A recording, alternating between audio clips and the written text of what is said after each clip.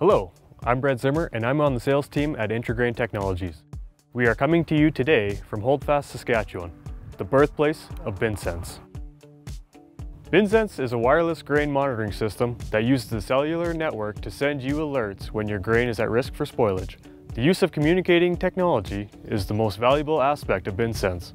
Wherever you are in the world, you can log in on your phone or mobile device to check to make sure your grain is safe.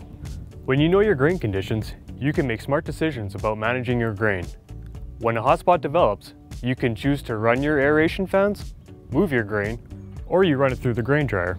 The choice is yours and any one of these tactics can be helpful in preserving quality. BinSense cables provide temperature and moisture readings. So many aspects of BinSense are customizable and you can shape it to suit your needs and preferences. BinSense is available in both a mobile app and a desktop program. There are other useful things you can do with the application. You can view your grain inventory by bins, yards, and grain type.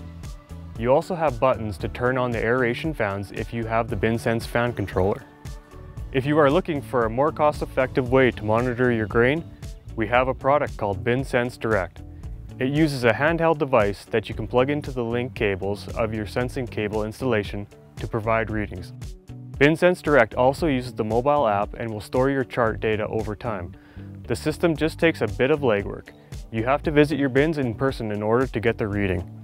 BinSense has great options to help you monitor your grain.